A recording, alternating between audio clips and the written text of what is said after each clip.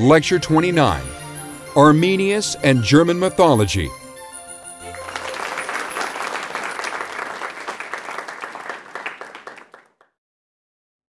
Four times in the 19th and 20th century, French and German armies clashed. The defeat of Napoleon at Waterloo was the product of both the British and the Prussians. And it is said that in the most critical hours of the battle, General Wellington prayed that either nightfall would come and the French would have to break off their attack, or General Blucher and his Prussian troops would arrive. The Prussians did arrive, and Napoleon met his Waterloo. The successor, the little Napoleon as he was called, the French Emperor Napoleon III, met his own Waterloo at the Battle of Sedan. In 1870 and 1871, Prussians and French clashed again, and the result was the fall of the empire of Napoleon III and the proclamation of a united Germany in the palace at Versailles, what the French thought was their ultimate humiliation. Again, in 1914, France and Germany, for four long years, clashed in what till then was the greatest war in history. And the, Brit- and the French held at Verdun, they wrote the immortal words, They shall not pass. They held the Germans, suffering more than a million dead in the long war, but they won. And in 1939, it started all over again. France and Germany at war, and in 1940, the Germans marched in triumph down the Champs Elysees. And France has never recovered from that defeat by the Germans. Why? Why, four times in two centuries, did perhaps the two most cultivated people in Europe, well educated, prosperous, why did they come to war? And to answer that question, we need to turn to some heroes, to some history, and to some myths. And to do that, I want you to go back with me to the year 9 AD. And we are in Rome. We are on the Palatine Hill where Romulus first established the city of Rome. We are in the modest house of Caesar Augustus, Imperator Caesar Divi Filius Augustus. The name might be translated the all conquering general, Caesar, the Son of God, who was Julius Caesar, and Augustus. And the best English translation is the Messiah. If we want a superb example of the foresight of Julius Caesar, it was the adoption of his great nephew, Gaius Octavius. Caesar knew very little about the youth, though he had been responsible for his education. But in his will, Caesar adopted the boy, who was 19 at the time, and left him most of his estate, which was vast, far larger than the Roman treasury. And the boy interrupted his studies against the advice of his mother. At the age of 19, he had been studying in Greece. He came to Italy when he learned of his now father's assassination, Julius Caesar's assassination, raised an army of Caesar's veterans, and by 29 BC was absolute master of the world. He was one of the most successful, perhaps the most successful statesman in history. It was said by um, an English philosopher, Whitehead, that two times in the history of the world was a very difficult, complex political problem solved in as nearly a perfect a fashion as possible. One was the founders of our country and our Constitution, but the other and earlier was what Augustus did with the Roman Empire. All the dreams that Caesar had, Julius Caesar, Caesar Augustus put into place. He knew his limits. He added more to the Roman Empire than any Roman before him or after him, but he very seldom fought battles on his own. He did not seek after the title king. He was happy with the title princeps, and he instituted an era of two centuries of unparalleled peace and prosperity. By the year 9 AD, he is 72 years of age. He has had sorrow in his life. His grandsons, whom he loved deeply and thought of as his successors, had died. And he now had had to turn to his stepson, an adopted son, Tiberius, whom Augustus knew to be unworthy of imperial power, but there seemed to be no other possible successor. But that's not what is on his mind this day on the 9 AD. He is worried about events in Germany. Julius Caesar had planned to lead a great expedition starting on April 15th, 44 BC, conquer Iran, and then conquer Germany. Julius Caesar understood that Iran and Central Europe were the keys to maintaining Roman peace. But he was assassinated, and Augustus had chosen a different path in the Middle East. He understood the strategic vitality of the Middle East. In fact, the Middle East uh, was crucial to the wheat supply of Rome, even as the Middle East is crucial to our oil supply today. Thus, Augustus had annexed the province of Judea but he had not made war against Iran, and in fact, in 19 BC, he had negotiated a peaceful settlement by which Romans and Iranian recognized mutual spheres of influence. But it was different in Germany. There, Augustus thought he could succeed, and his really his favorite adopted son, Germanicus, uh, Nero Claudius Drusus, given the title Germanicus posthumously, in 15 BC, led a series of very successful invasions into Germany, crossing the Rhine River, which was the boundary, really, between the Roman provinces of Gaul and Free Germany. And by 9 BC, it looked as though Drusus would bring this to a completion and force all of the German tribes to surrender pay tribute to Rome, even as the Gauls had done. But he fell from his horse in 9 BC while on campaign in Germany, and for some years Augustus had let the matter, matter rest. But by 9 AD, Augustus believed that the Germans had been sufficiently cowed that they would begin to accept regular Roman rule.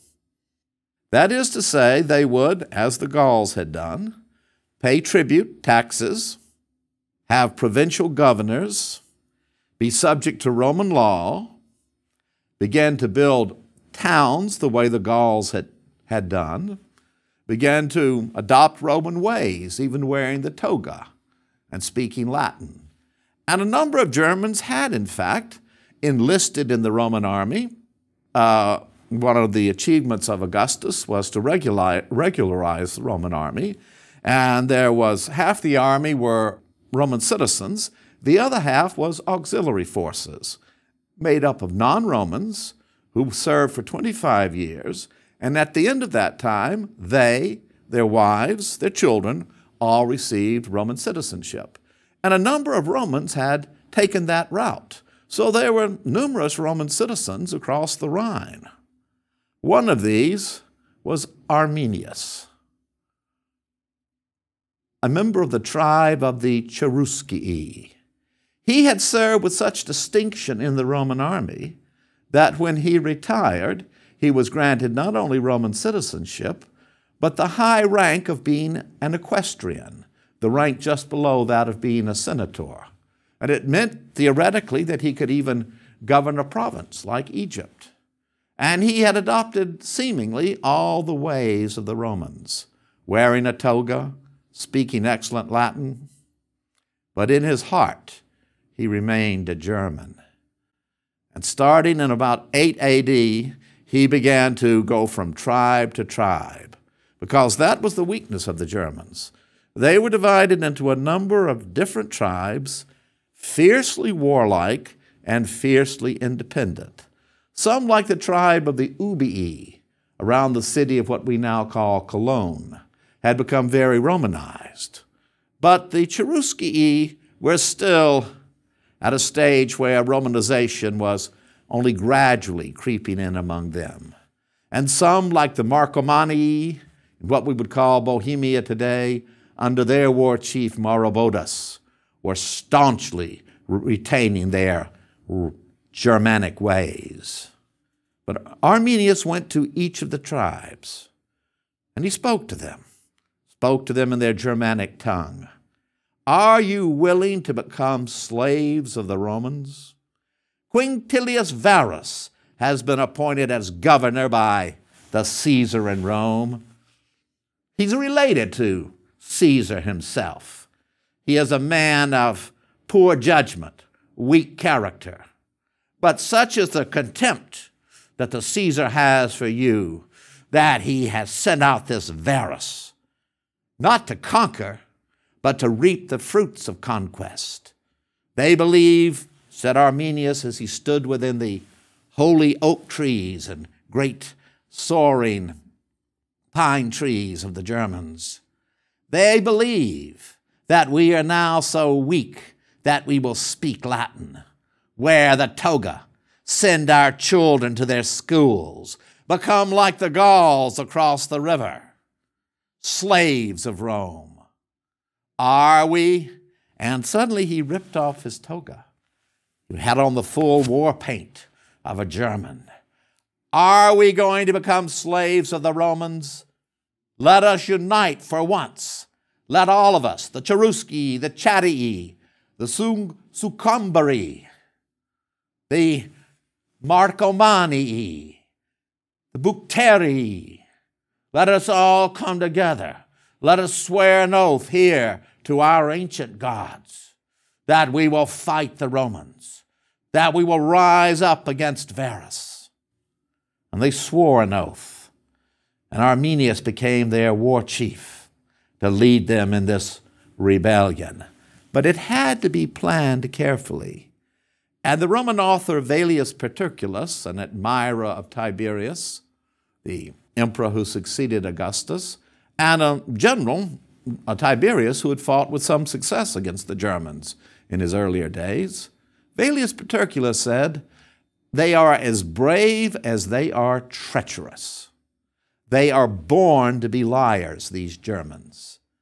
So it was by treachery, treason, lies, that Quintilius Varus was led to believe by Arminius, who posed as his friend after all, he's a Roman citizen, an equestrian, a decorated veteran of the Roman army. Arminius came to Varus and said, Now is the time. We Germans are ready to pay taxes as loyal citizens of this mighty empire, and all you need to do is to come further into Germany. Show with a display of strength, bring three legions, and you will find yourself welcomed, and town after town and tribe after tribe will open its gates to you.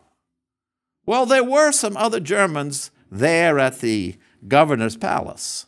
They tried to caution Varus against the treachery of Arminius. But Varus, a man of very poor judgment, decided, of course, he could trust this Arminius. After all, as later would be said, blonde hair and blue eyes are the eternal opposite of falsehood. Thus, with three legions, the 17th, the 18th, and the 19th, Varus, accompanied by Arminius, began his march into Germany. Now, Germany had not been civilized in the sense of the kind of Roman roads that the armies were used to marching over. And the German summer is a very brutal summer, day after day of rain and chill and the little paths that went through the forest of Germany uh, became muddy And of course, the Roman army did not travel lightly. It brought with it large numbers of baggage trains, wagons, supplies. You had to feed the horses, feed the oxen who drew the wagons. So it was extended over many miles, and the muddy pathways were impossible to cross. Romans had to use their engineering skill to chop down trees and create what we used to call in America corduroy roads, roads that are roll over uh, logs. But on they marched. The further they got into Germany, the uh, more it seemed that this, uh, the expedition was going to be successful.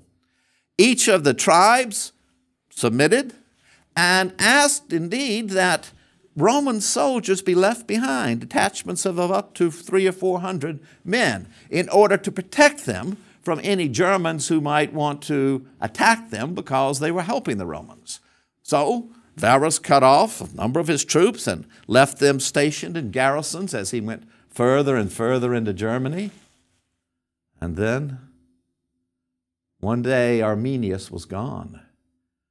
But he told Varus that he was leaving because he wanted to go even further among the German tribes, spread the word among tribes that had not yet accepted Roman rule of what a good thing it was to be a Roman. And he also wanted to bring those troops to uh, Varus so that they could be part of his entourage in case he did run into any hostile tribes. So Varus had given permission for Arminius to go. And he also, Varus, failed to note that a considerable number of the Germanic warriors who had been accompanying him had gone away. But the explanation, again, was presented and most logical that they were going to check on their families and they would be back and even bring some of their children with them so they could be taken back into uh, Roman Gaul and educated to be good Romans. And so the Romans marched on. The skies opened up upon them, and it rained day after day after day. Suddenly, as the Romans pushed on, Varus growing ever a little more nervous, as his loyal Germans told him, something is up. But to turn back would be a humiliation. It would certainly get back to the Emperor Augustus. Uh, Varus was married to the grand niece of Augustus, and he might lose his position. After all, he was a bureaucrat, and a little wor- worse thing for a bureaucrat is to seem to admit failure. On they pushed. Out of those woods came the Germans, outnumbering the Romans five, six to one, completely surrounding the Roman column, and the Romans, as they had been marching, had become ever more drawn out in their lines, straggling, cut off from their units. And in this pouring rain, their weapons failed to work. The centurions, the really the men, the men who really ran the Roman army, they tried to rally their troops, tried to put them together in their units, their cohorts, their legions, but it was impossible. Everywhere were Germans, and they were hurling javelins upon the Romans.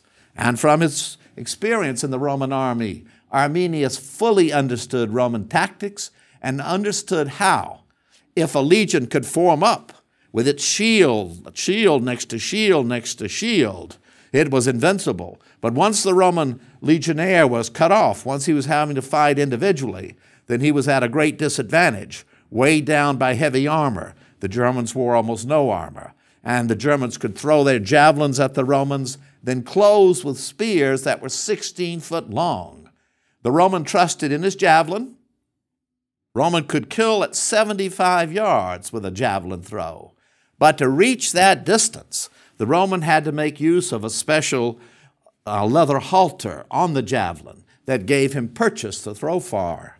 And in the pouring rain, that uh, lever was absolutely worthless, and the Roman could get no more than 15 or 20 yards with a javelin. The Roman was also the master of the short sword, two feet long, liked to close with that short sword while marching in close formation with shields protecting every Roman. But what good was a two foot sword when you were by yourself? and your German opponent, or maybe two or three of them, had 16 foot spears. Thus, all that long day, the Romans were bloodied and killed. They built a camp, and inside that camp, made of turf, sentries set out. They spent that long night, and they heard outside their camp the cries of their comrades. For the Germans loved to torture, and the braver you were, the more they tortured you. They took Romans and drove nails into their heads as they hung from trees. They liked to take the bravest of the warriors and spread them out on an altar and fillet them while they were still alive, pull their backbones out,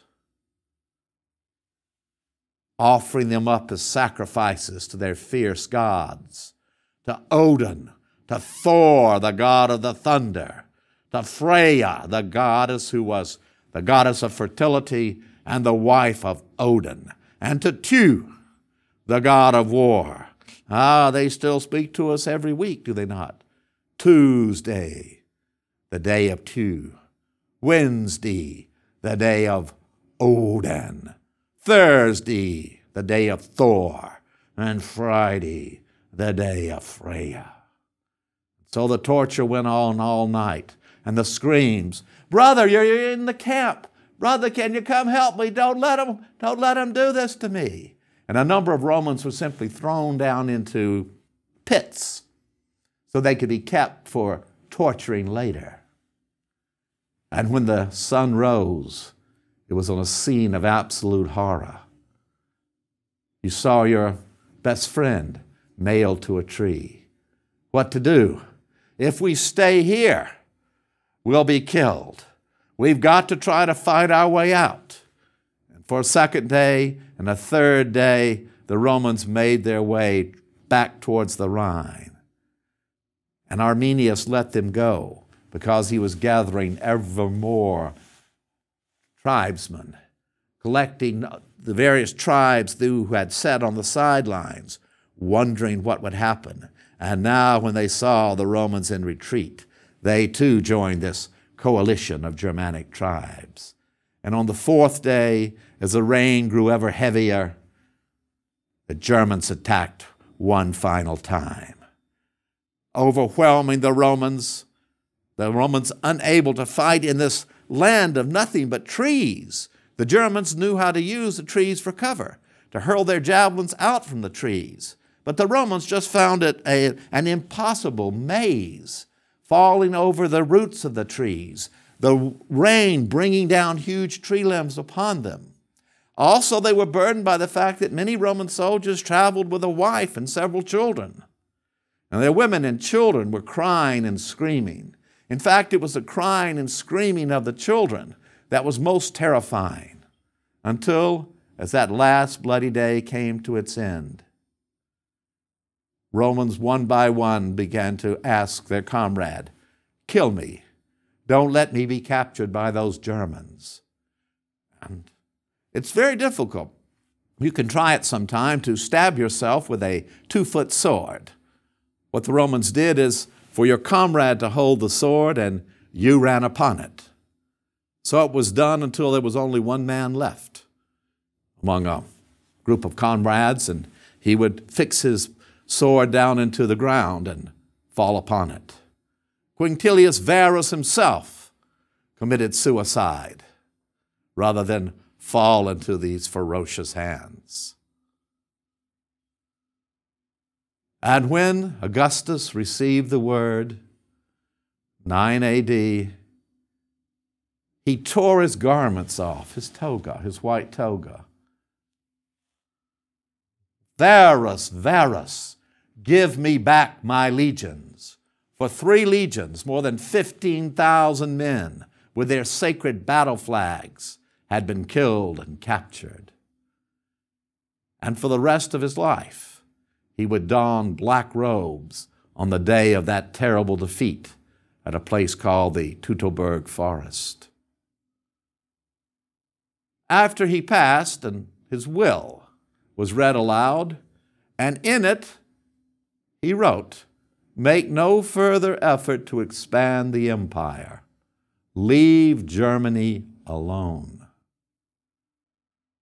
But Tiberius, giving in to the wishes of his adopted son, Germanicus, the son of Drusus, Germanicus, who had campaigned successfully in Germany, Drusus, uh, Germanicus, the adopted son of Tiberius and very popular with the Roman people, as he had been much beloved by Augustus, asked for permission to campaign in Germany. And in 15 AD, the first full year of the reign of Tiberius, Germanicus led a large army into Germany. The Germans withdrew, letting him get further and further until he came upon the spot of the Teutoburg forest and the scene of horror. Bones lying there for six years, bones and trees of Roman soldiers with nails in their head, Romans stretched out on altars with a backbone separated from the rest of the body. You could still recognize, perhaps, from a special decoration he wore, lying there in the dirt, your brother even your father. They were buried with full military honors and a mound erected over them to honor their bravery. Ah, but like Varus, Germanicus had been led far into Germany, and Arminius led another attack upon him. And it was with great difficulty that the Romans fought their way back to the city we call Cologne and to the safety of the Rhine River. The next year, Germanicus got permission to lead a further expedition. This time he thought he could save time and perhaps outflank the Germans by taking most of his troops by sea through the North Sea. Once again, he landed. His other columns joined him up, having marched deep into Germany. And once again, they were attacked by this coalition led by, led by Arminius. Germanicus claimed great victories, but in the end, part of his army marched back by land, almost destroyed, and the rest of it sailed back and encountered the brutal summer storms of the North Sea, and hundreds, if not thousands, of Romans drowned. At this final disaster, Tiberius removed Germanicus from command in Germany, gave him a triumph in Rome, and sent him off to the Middle East. And from that time on, Germany would be free. Tacitus, the Roman historian of the late first and uh, early second century AD, Publius Cornelius Tacitus, admired the Germans and admired Arminius. Tacitus wrote a monograph, an essay on the Germans, in which he contrasted the chastity of their wives and husbands, their love of warfare, their belief in their gods who did not need temples to dwell in, contrasted the virtue of the Romans, uh, the virtue of the Germans, their warlike qualities, with the decadent Romans of his own day who thought adultery was just a casual affair of the heart and no longer had the warlike valor of the men who had fought at Zama with Scipio. And to Tacitus, the Germans would one day, because of their bravery, conquer the Roman Empire. And all that would save Rome in the meantime was the disunity among the German tribes. Arminius fell to that disunity. He was accused of aiming at total kingship over the Germans and was murdered by treachery. Tacitus paid him the highest tribute. Arminius was without doubt the liberator of Germany. Unconquered in battle, he alone went against the Roman Empire, not in its early days, but when it was in the full tide of its imperial might. He is still sung about by the Germanic bards around their campfires.